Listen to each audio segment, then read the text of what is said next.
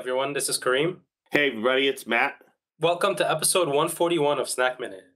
Uh, today, we're delving into a little bit different area than we're used to, which is the data center. Um, I know we talk a lot about automating technologies and different uh, areas around campus networking and enterprise networking. Um, in DC, we touch on sometimes, especially when Quinn's around. Yeah. uh, but uh, we're actually delving into the higher level certification, CCNP and CCIE uh, for the data center. Um, and we have a couple of special guests with us. We have Iskren and Somit. Would you guys, uh, Iskren, go first? Why don't you uh, introduce yourself? Uh, okay, so my name is Iskren Nikolov. Uh, together with Somit, we are uh, content engineers for the uh, Cisco data center and cloud and collaboration content development team. I'm a CCIE, also a CCSI. I'm a Cisco certified uh, instructor. I also used to be a Microsoft certified trainer. I worked on the field for many years. I started uh, working for a huge Cisco customer. After that, I worked for a Cisco Golden Partner for many years. Then, for more than 12 years, I was uh, an instructor. And for the last five years, I'm part of this team. Oh, wow. That's a really impressive resume, Iskren. Glad to have you on. Uh, Somit, would you mind uh, introducing yourself? Yeah, Matt. So myself, Somit Maloo, and I work with Iskren in data center and cloud team as a content engineer. And I started my career in Cisco like more than a decade ago, like 13 years back when I started as a tech engineer. And from past 13 years, I am working dedicatedly only on data center networks most of the time. So I was a tech lead for uh, Nexus switches, uh, Nexus team in tech. And then I also worked as a HTE high touch engineer for Microsoft account from Cisco side. And for last decade, I'm working in learning and certifications uh, data center and cloud team as a content engineer. And I have around five CCIEs and I also have CCDE. Whoa. Five CCIEs? Yeah. Hello. Yeah, yeah, five CCIEs and CCDE also.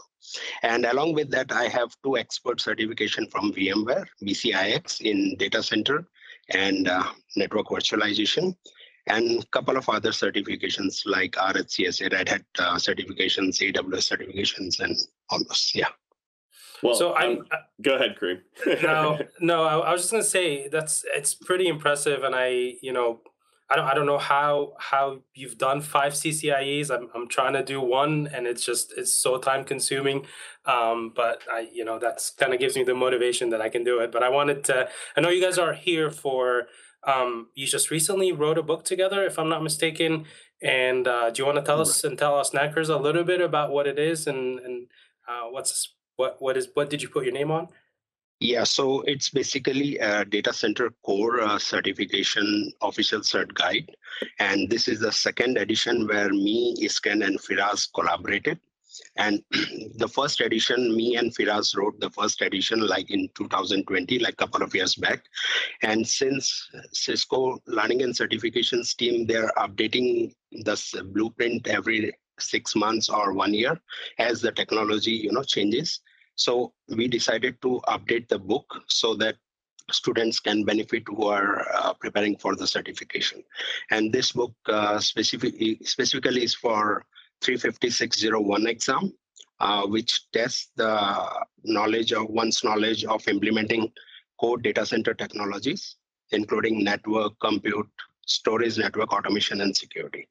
Yeah, it's uh, it's uh, the book uh, mainly caters for DC core certification, which is a 120 minute exam from Cisco certifications team, and it accounts for your CCNP and CCIE data center certifications.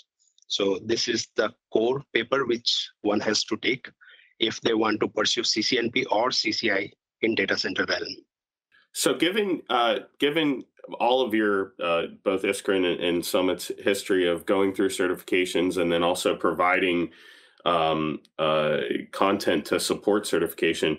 Um, you know, we go through the process of talking about a lot of the digital um, learning that we have through either Cisco U or DevNet or learning and certifications.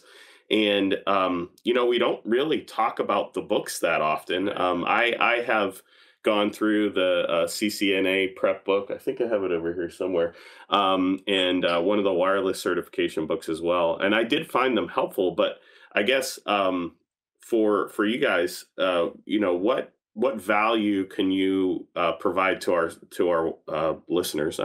Like we're on a podcast uh, to our watchers, I guess, um, about how potentially adding a book to their preparatory materials uh, can be helpful. Personally, the way that I see it is that uh, uh, during my years of teaching the Cisco technologies and the, the, Microsoft Azure and all of that stuff, you, you have different people the, the people they uh, accept and process the information in different way. So uh, working certifications, they're always dedicated to providing all of the possible formats and means for uh, the engineers from the customers, the partners to, to prepare themselves for the uh, exams and especially the DC core, this level of exams, they are very, uh, how to say, uh, they're, they're big exams, if I can use this word, not to, to yeah. use yeah. Uh, very tough exams, not to sound scary, uh, because they, they cover, you know, they cover the data center technology. And the data center technology, no matter that nowadays stays kind of in the background when we use, you know, mm-hmm. uh, more terms about, you know, the more uh, fancy stuff like uh, clouds, like uh, AI, all of that stuff. So at the end of the day, uh, uh, we, we need to have uh, processing power. You know, this is, you know, the, the, the, the fundament that carries all of the new technologies, the whole stack up to the uh, uh, applications level. So uh, to go back, sorry about, you know, moving in that direction. But to go back to why we um, decided to go ahead with this format is there are people that first of all like to uh, process the information by reading books, right? There are mm-hmm. other people that like to go on a self-paced uh, e-learning. Other people they like to get away from their work, to totally isolate, to sit in a classroom, virtual or on-site with an instructor. So different ways. But also the book here offers um, uh, uh, additional tools to help you uh, very quickly to check the information, to, to memorize the information and all of that. And I think that Somit there has much more details, right? Yeah, so basically why we chose to write the book in the first place because with portfolio 2.0 evolution in learning and certifications like back in 2020 there was a need for official cert guide in the market which students can use to prepare for the DC course certification because DC course certification was part of uh, portfolio 2.0 evolution back in 2020 and also I have worked mostly in data center realm and I have seen data center product evolve very closely from the launch of Cisco Nexus, which is back in 2008 to introduction of Cisco ACI in 2014 and so on. So with the evolution of data center products, uh, the Cisco data center certification also evolved. And I was lucky enough to be part of this evolution at every step of the process. Uh, with all the experience I gained working as a content engineer for more than a decade, I felt that I should share the knowledge with others who are interested in learning how to configure and manage data center products by writing a book on data center core technologies. And uh, who else to get hold of? Iskren, who is an experienced CCIE, CCSI, and he has experience in teaching uh, Cisco technologies for more than a decade. So, yeah, then we thought let's collaborate for the second edition, and uh, yeah. I know you, Iskren was talking about the, you know, the different ways of learning. Um, but if I were, you know, I'm I'm going into I've done some DC in in the past, and I'm trying to go to the next level with DC Core.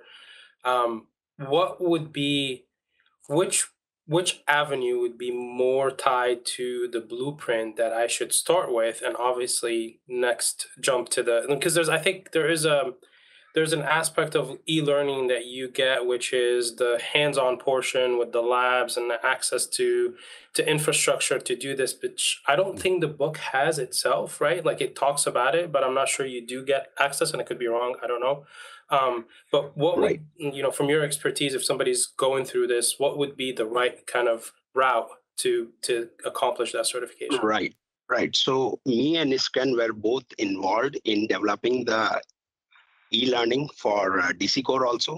Mm-hmm. So right. in e-learning, what we focus on is uh, we we try to cover everything in Blueprint, but we try to cover something more in e-learning uh, with hands-on lab. And in e-learning, we try to teach through labs where student gets to where students get to learn the technology by doing hands-on labs uh, on different technologies.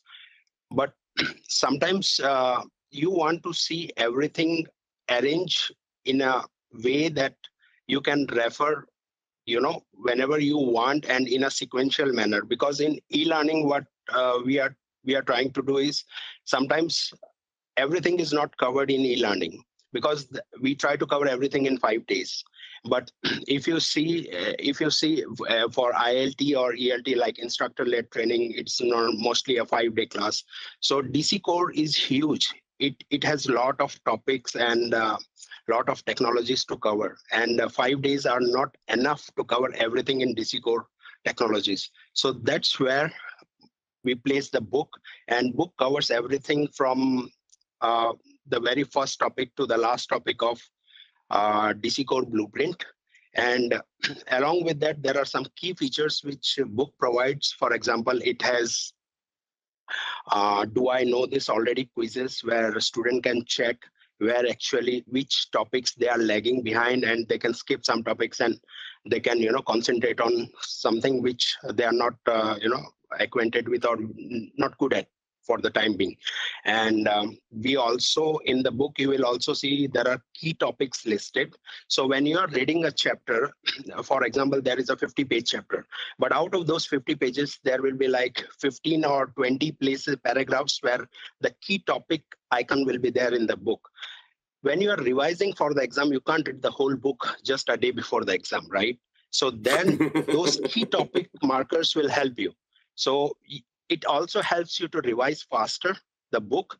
And uh, along with that, uh, we also have included a final chapter in the book, which uh, guides reader through tools and resources to craft test taking strategies.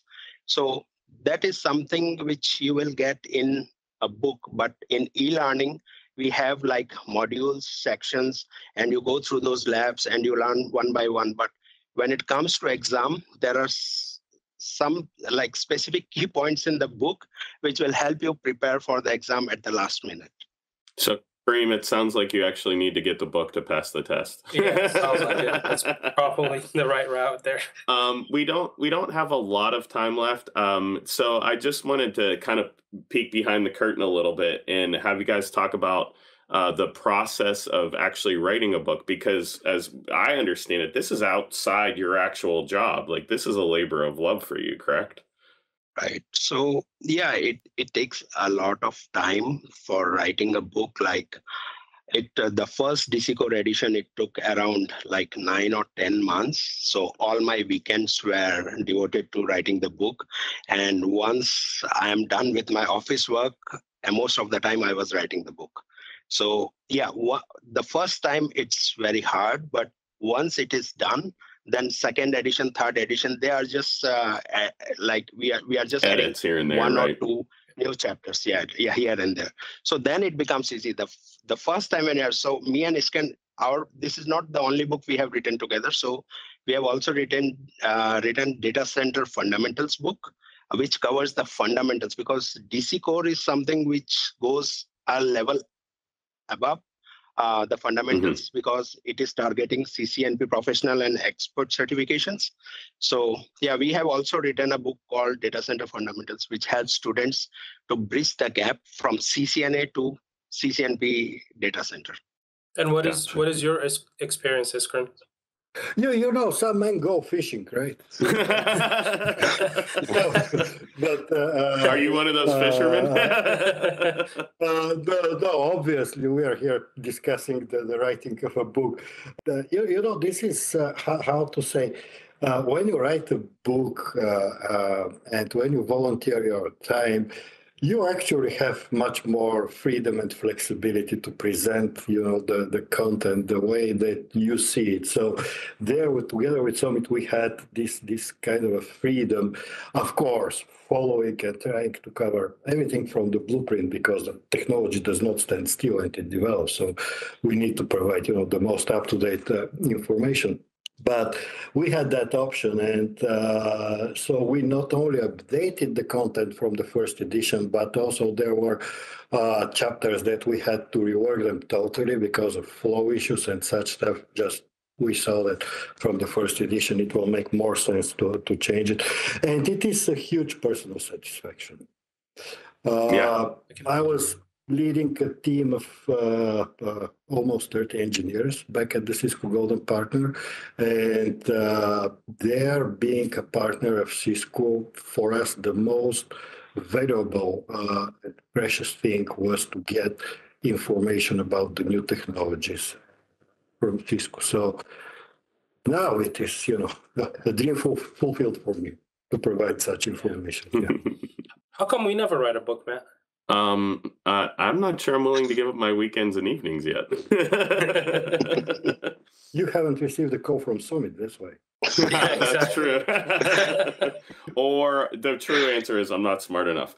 Um, so uh, unfortunately, we are running out of time, and you guys are first timers. Uh, so we do have to ask the question. I'll ask Iskren to go first.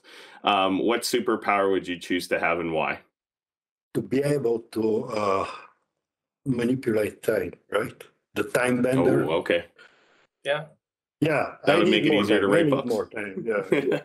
yeah. No, more importantly, to learn, because the moment that you stop to learn, you stop to develop. So. This is yeah. spot on, actually. Yeah. We should we should put that on a T-shirt somewhere. Yeah, that's my favorite one. yeah. uh, Somit, how about you? you? You're you're on the spot now in, in case Iskren took yours. no, so actually, uh, like when I was young, like uh, back in my 20s, so we, we used to watch a Japanese cartoon named Doraemon. And there was a character called Nobita who was not good in studies. And the and Doraemon was a robot from the 21st century. And uh, Nobita asked, oh, can you give me some superpower? And uh, Doraemon said, okay, I will give you the superpower to read any book but just by touching it. So I have a like more more than like 200 books which is in my bucket list. I have to read, and um, I, I am not getting enough time with all like writing three books and taking uh, working working for learning and certifications department and all. That. So if if you ask me, I would like to that. So I would like to have that superpower when I touch a book and I get all the information from the book. So yeah, that will really help me. You know. So yeah, I can take I can check my bucket list. Yeah. It's like downloading from the Matrix, right? Getting plugged in and then just downloading the book in your head. Yeah, yeah, yeah. Right. That's awesome. Um, so I've I've actually gleaned a lot from this conversation. Snackers, I hope you have too. Um, check out Somit Iskren's book if you are interested in the uh, CCNP DC and CCIE DC, um, the the DC Core Exam 350 601. Uh, it sounds like this book would be a huge help if you're bridging the gap between CCNA and data center. Um, also, check out their DC Fundamentals book as well. Um, I actually might go grab that one. That one sounds yeah. crazy interesting. Thank you guys so much for your time. Snackers, thank you, and we'll see you next week. Thank you, Snackers. Thanks, guys. Thanks. Thank you.